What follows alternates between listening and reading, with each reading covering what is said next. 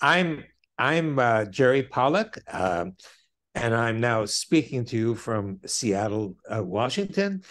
And I want to uh, alert you to the fact that I will be speaking at a forthcoming symposium, and and the title of my talk is, is um, the fourth phase of water. Uh, no, it's earthquakes, volcanoes, and the fourth phase of water. And I I hope to um, to let you know or to convince you that the fourth phase of water is in fact related. Um, it plays a big role um, in earthquakes and volcanoes.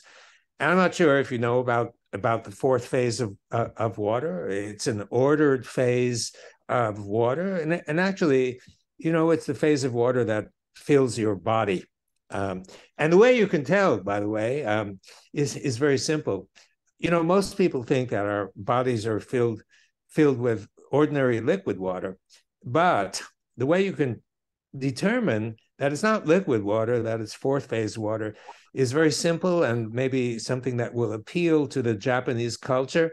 And that is take a really sharp Japanese knife and cut yourself. Now, when you cut yourself with a knife, a really sharp knife, so you go pretty pretty deeply in, in your arm.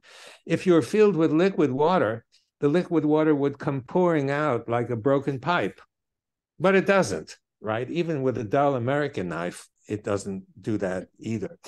But the sharp Japanese knife, and the reason is that the water is not liquid water. The water is actually EZ water, and EZ water uh, I'll be talking about it and explaining it, but it's um, it's a a, a gel-like uh, water, and it sticks to the inside of your cells. It sticks to the solids inside your cells, so that when you cut yourself, it still sticks and it doesn't it doesn't come out. But I want to tell you um, uh, in in this seminar that I'll be presenting, I want to tell you more um, about that and more about the rather universal application of, of this in nature. And I know in in Japan, um, uh, volcanoes and earthquakes are are pretty common. So maybe there's a fair amount of interest. And the question arises, the question always arises, where does the energy come from? You know, so many people think the well, the energy comes from the the, the center of the earth. But if it comes from inside the earth, you might expect that after after a few million years, or certainly after a few billion years, um, the Earth's going to run out of energy, and we'd have no earthquakes and no volcanoes.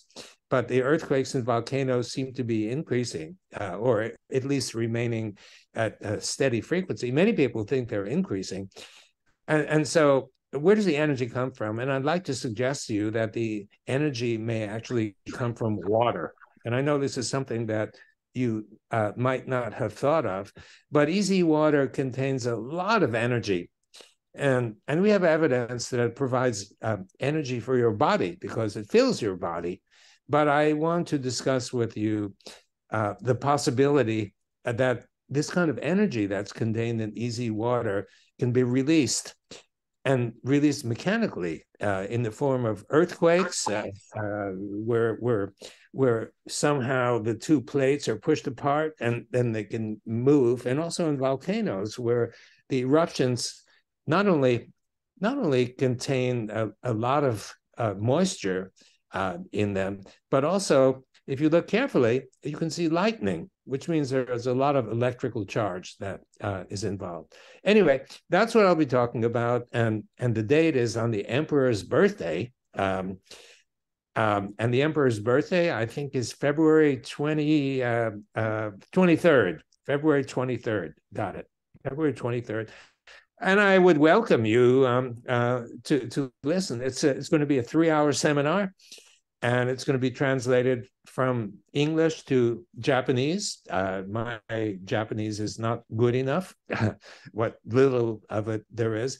And I'd be delighted and thrilled uh, to see you. I, have I've been to um, Japan many times, maybe more than 40 times. And um, in the office, Emoto also many times. So it's my great pleasure. I'm sorry I can't be there at this time, but I'll be there through Zoom. And I extend a warm welcome to all of you uh, to tune in. Um, I think that's what I have to say. And uh, thank you very much.